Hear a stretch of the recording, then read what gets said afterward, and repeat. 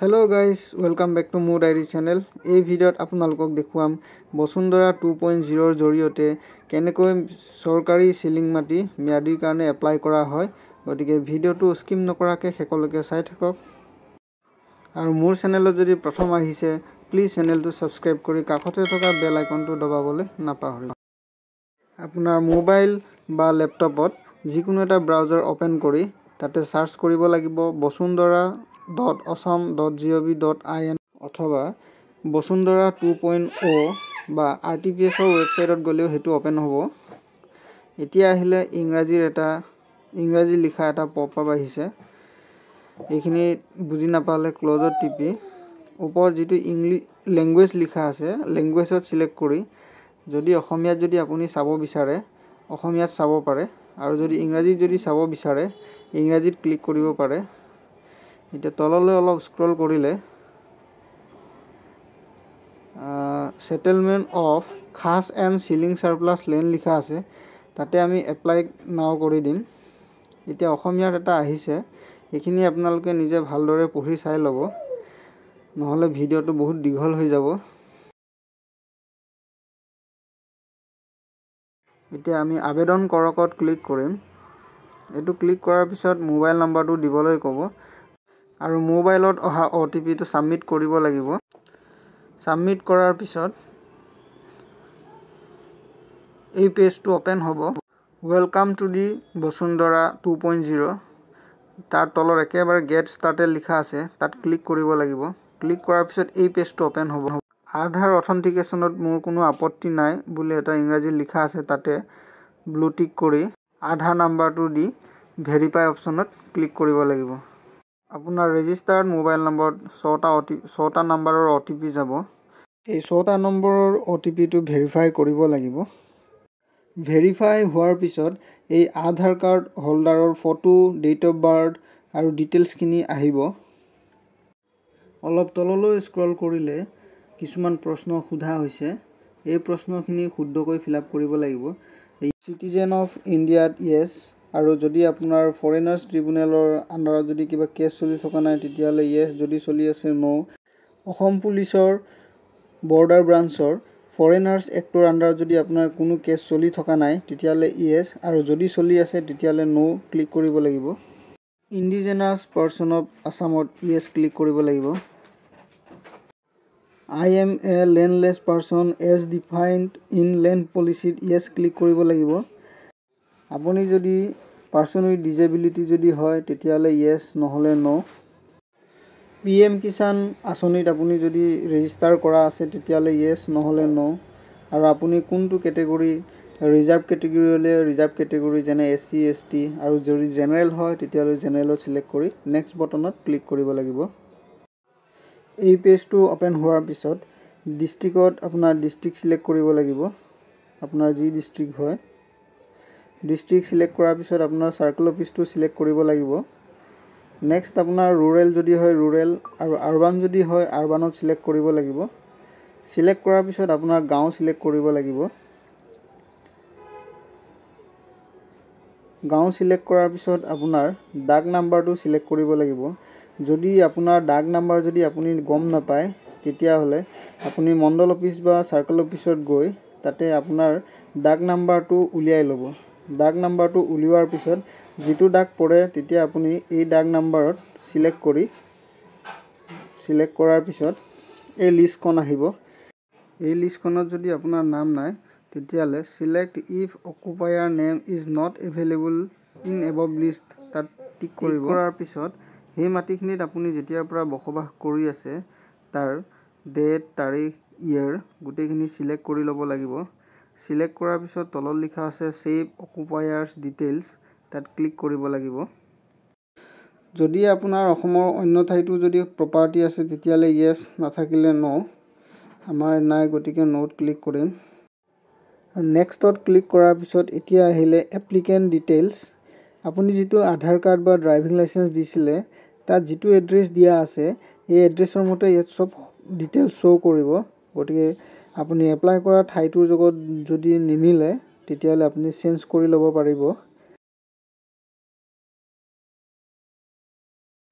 এপ্লিকেণ্টজনৰ নামটো অসমীয়াত লিখি ল'লোঁ। এতিয়া এপ্লিকেণ্টজনৰ কেয়াৰ অফ বা গাৰ্জেনৰ যিটো অসমীয়াত লিখিব লাগে সেইটো লিখি ল'লোঁ। নেক্সট আহিলে আপোনাৰ জেণ্ডাৰ চিলেক্ট কৰিব লাগে জেণ্ডাৰটোও চিলেক্ট কৰি ল'লোঁ। আৰু আপোনাৰ কি কেটেগৰীৰ হয় এছ টি এছ চি যিয়ে নহওক আপুনি চিলেক্ট কৰি ল'ব। তাৰপিছত মেৰিড আনমেৰিড যিটো অপশ্যনৰ কাৰণে আপোনাৰ প্ৰয়োজন সেইটো চিলেক্ট কৰি ল'ব। নেক্সট আহিলে আপোনাৰ এড্ৰেছ ডিটেইলছ যিটো মাটিৰ কাৰণে আপুনি এপ্লাই কৰিছে সেই মাটিটোৰ এড্ৰেছটো দিব লাগিব। আৰু যদি পাৰ্মানেণ্ট এড্ৰেছটোৰ লগত যদি একে তেতিয়াহ'লে ছেইম এজ পাৰ্মানেণ্ট এড্ৰেছত ক্লিক কৰিব লাগিব। এপ্লিকেণ্ট এপ্লাইং ফৰ যদি আপুনি জইনভাৱে যদি এপ্লাই কৰে তেতিয়াহ'লে জইনত ক্লিক কৰিব। ইণ্ডিভিজুৱেল যদি কৰে তেতিয়াহ'লে ইণ্ডিভিজুৱেল কৰিব লাগিব। আমি জইন এপ্লিকেণ্ট এপ্লাই কৰিম গতিকে জইন অপশ্যনত ক্লিক কৰি জইন এপ্লিকেণ্টজনৰ নাম লিখিব লাগিব। প্ৰথমতে ইংৰাজীত দিব লাগিব। নেক্সট অসমীয়াত লিখিব লাগিব। জইন এপ্লিকেণ্টজনৰ গাৰ্জেনজনৰ নাম ইংৰাজীতো লিখিব লাগিব আৰু অসমীয়াতো লিখিব লাগিব। গাৰ্জেনৰ লগত সম্পৰ্ক কি এইটো চিলেক্ট কৰি ল'ব লাগিব। আৰু জেণ্ডাৰ কি সকলোখিনি date of birth mobile number আৰু এই জইন এপ্লিকেণ্টজন কি কৰে সেই গোটেইখিনি চিলেক্ট কৰি ছেভ এপ্লিকেণ্ট কৰিব লাগিব। ছাকচেছ দেখুওৱাৰ পিছত অকেত ক্লিক কৰিব লাগিব। এতিয়া এপ্লিকেণ্টজনে কি কৰে তাৰ অকুপেশ্যন কি এইটো আমি চিলেক্ট কৰিম। চিলেক্ট কৰাৰ পিছত তললৈ অলপ স্ক্ৰল কৰিম। নেক্সট আহিলে ফেমিলি ডিটেইলছ ইয়াতে আপোনাৰ ঘৰত যিমান ফেমিলি মেম্বাৰ আছে যদি গোটেইখিনি যদি দিব বিচাৰে তেতিয়া আপুনি চিলেক্ট কৰিব লাগিব।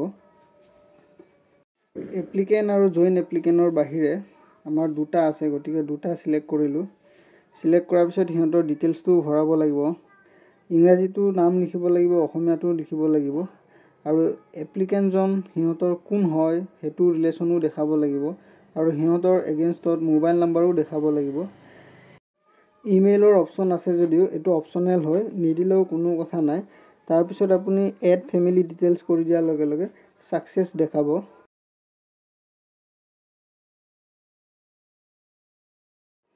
এইখিনি ফিল আপ কৰাৰ পিছত সোঁফালে ওপৰলৈ ক্ল'জ বুলি আছে তাতে ক্লিক কৰিব লাগিব।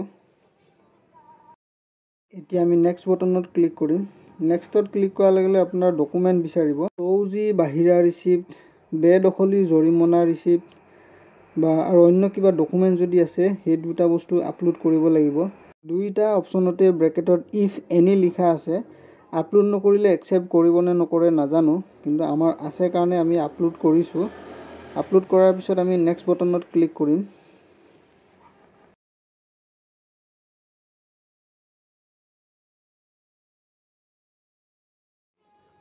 নেক্সট আহিলে ৰিভিউ এণ্ড ছাবমিট।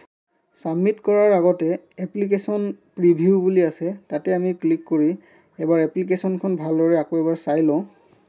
এপ্লিকেশ্যনখন ফিল আপ কৰাটো যদি আপোনালোকে ভুল পায় তেতিয়াহ'লে একেবাৰে তলৰ ফালে প্ৰিভি প্ৰিভিয়াছ অপশ্যন আছে য'ত আপোনালোকে ভুল দেখে সেইটো প্ৰিভিয়াছ অপশ্যনত গৈ গৈ আকৌ শুধৰাই ল'ব।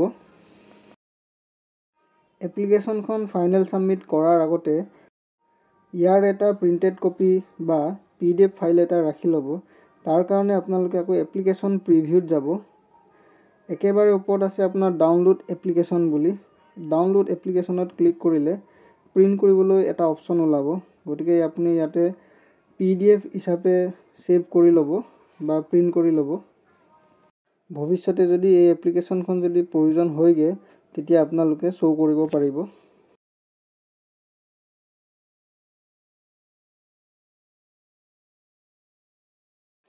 একচেপ্ট এগ্ৰিমেণ্ট এণ্ড ছাবমিটৰ চেক বক্সটো ক্লিক কৰিলোঁ। ক্লিক কৰি ফিনিছ বটনত ক্লিক কৰিলে পে'মেণ্ট অপশ্যনটো আহিব। ইয়াতে লিখা আছে বেংক একাউণ্ট বুলি দহ টকা চাৰ্জ লৈছে আৰু চালান এমাউণ্ট পঞ্চাছ টকা বুলি দেখাইছে। আপোনালোকে যদি বেলেগ বেংক একাউণ্টৰ যিটো দহ টকা চাৰ্জ সেইটো যদি কিহৰ কাৰণে লৈছে জানে তেতিয়াহ'লে প্লিজ কমেণ্ট কৰি জনাব। এতিয়া বেংক চিলেকশ্যন অপশ্যনত ক্লিক কৰিব লাগিব। ক্লিক কৰি দিয়াৰ লগে লগে এক্সিছ ইজি পে' বুলি দেখাইছে এটাই দেখাইছে ন' চাৰ্জেছ লিখা আছে তাতে ক্লিক কৰিব লাগিব। ক্লিক কৰাৰ পিছত তললৈ এগ্ৰী লিখা আছে এগ্ৰীত ক্লিক কৰিব লাগিব। তাত ক্লিক কৰাৰ পিছত প্ৰচিড ফৰ পে'মেণ্ট লিখা আছে তাত ক্লিক কৰিব লাগিব। প্ৰচিড ফৰ পে'মেণ্টত ক্লিক কৰাৰ লগে লগে এটা পপ আপ আহিলে ইয়াত এটা জি আৰ এন নাম্বাৰ দেখাইছে সেই জি আৰ এন নাম্বাৰটো নোট কৰি থ'বলৈ কৈছে ফিউচাৰত যদি আপোনাৰ পে'মেণ্টৰ কিবা ইছ্যু যদি হয় তেতিয়া এই জি আৰ এন নাম্বাৰটোৰ প্ৰয়োজন হ'বগৈ। টাৰ্মছ এণ্ড কণ্ডিশ্যন বটনত ক্লিক কৰি তললৈ অলপ স্ক্ৰল কৰিব লাগিব। এতিয়া আমি পে'মেণ্ট অপশ্যনটো চিলেক্ট কৰিব লাগিব। যদি ইউ পি আই ডি কৰে তেতিয়াহ'লে ইউ পি আই আই ডিটো দিব লাগিব।